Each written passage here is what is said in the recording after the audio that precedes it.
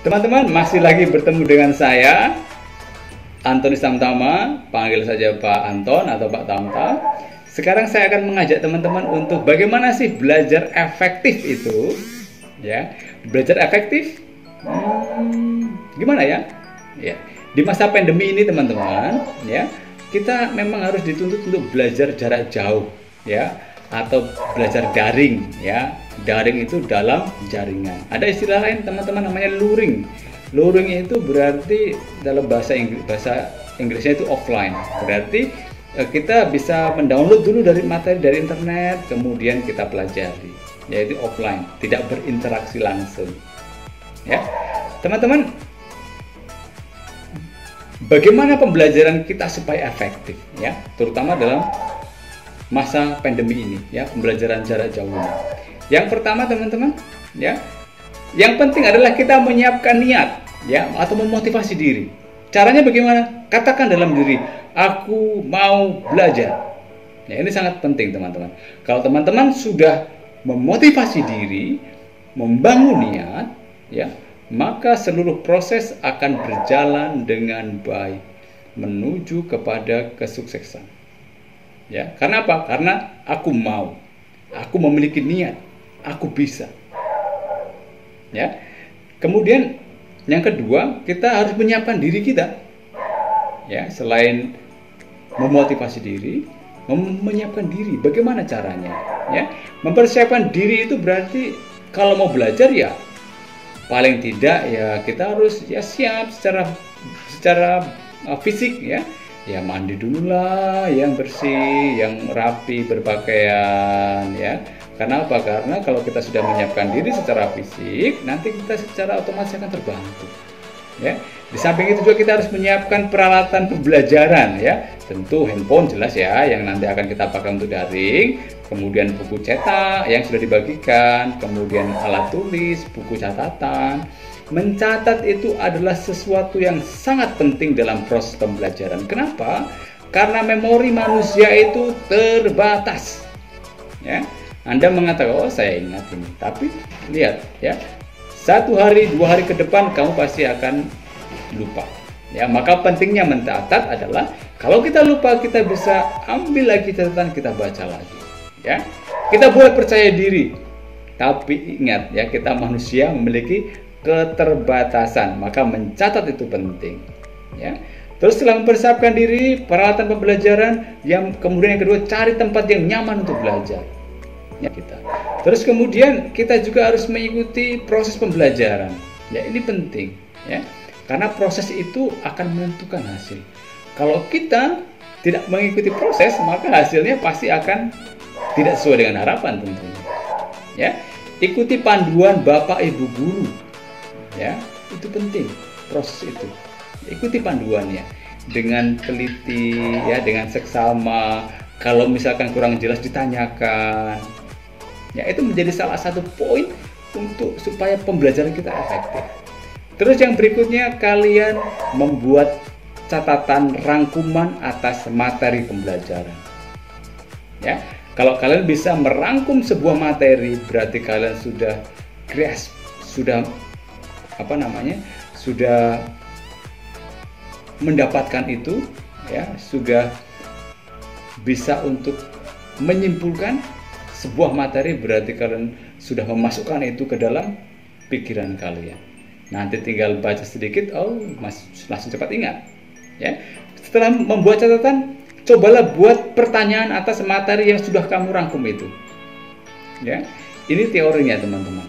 Kalau teman-teman anak-anakku sudah bisa merumuskan materi, sorry, merumuskan pertanyaan dari sebuah materi, berarti 80% teman-teman atau anak-anak sudah menguasai materi. Ya, karena sembari kita membuat pertanyaan, berarti kita sudah bisa menemukan. Ya. Teman-teman, langkah berikutnya adalah bertanya kepada guru atau teman untuk meminta penjelasan materi yang belum dipahami. Ini juga penting teman-teman. Supaya apa? Supaya proses pembelajaran kita menjadi efektif. Kita tidak perlu tidak perlu mengulang untuk yang berikutnya. tanya Pak ini maksudnya yang ini kalimat ini maksudnya apa Pak? Atau Ibu maksudnya yang uh, kalimat ini apa? Gitu ya. Jadi harus mau bertanya ya. Jangan malu-malu. Kenapa? Karena kalau malu bertanya pepatah mengatakan sesat di jalan ya. Karena bertanya adalah membangkitkan pikiran kita ya.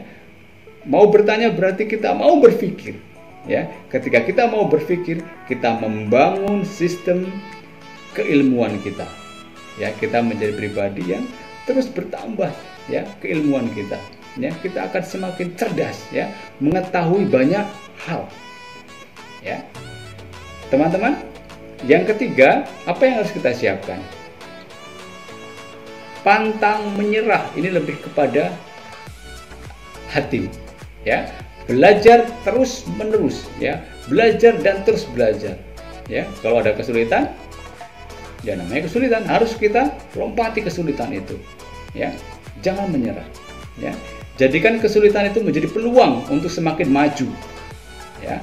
Pasti akan menjumpai kesulitan ya apalagi di media pembelajaran daring ya. Tapi kesul kesulitan yang ada itu tidak akan apa namanya kesulitan yang ada itu akan menjadi sarana bagi kita untuk menguji kita ya. Menguji untuk apa? Untuk lebih teliti ya. Menguji untuk apa? Untuk lebih tekun ya. Jadi kesulitan ada berarti kita sedang diuji sekali lagi. Kesulitan ada itu berarti kita sedang diuji. Diuji untuk apa? Diuji untuk lebih teliti. Diuji untuk lebih tekun lebih bersabar ya. Lebih keras lagi dalam berusaha ya.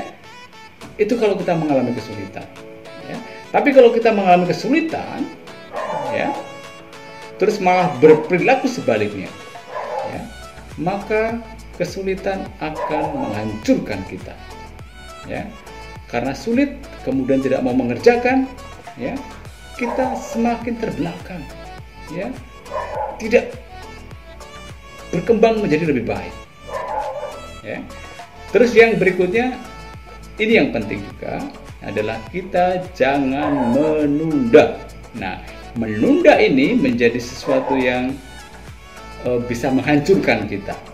Ya, jika ada tugas langsung kerjakan. Ya, apa yang bisa dikerjakan, pokoknya langsung kita kerjakan. Jangan pernah menunda. Ya, sekali kita menunda berarti suatu kesuksesan terabaikan. Ya, Sekali kita menunda, kita memupuk kegagalan. Ingat teman-teman. Ya. Sekali menunda, kita mengabaikan kesuksesan. Sekali kita menunda, kita memupuk kegagalan. Karena apa teman-teman? Akan banyak pekerjaan yang menumpuk di belakang sana. Ya, itu mengindikasikan atau mengisyaratkan kegagalan dalam hidup kita. Maka Jangan pernah menunda. Yang ada langsung kerjakan. Bisa kerjakan, dikerjakan. Ya. Bisa, bisa, bisa. Teman-teman, belajar jarak jauh berarti kita belajar mandiri. Supaya belajar kita efektif, yang bisa menentukan adalah diri kita sendiri. Ya. Kalau sekarang dalam proses pembelajaran daring ini ya anak-anak jauh dari guru atau mungkin anak-anak belajar di rumah tanpa ditemani oleh orang tua. Ya karena orang tua harus bekerja. Jadi tidak ada yang mengawasi anak-anak secara langsung. Ya maka diri kalian sendiri yang akan menentukan keberhasilan bukan siapa-siapa. Ya, ingat teman-teman ini dituntut sebuah kemandirian dalam bersikap. Ya teman-teman sendirilah yang menentukan masa depan kalian.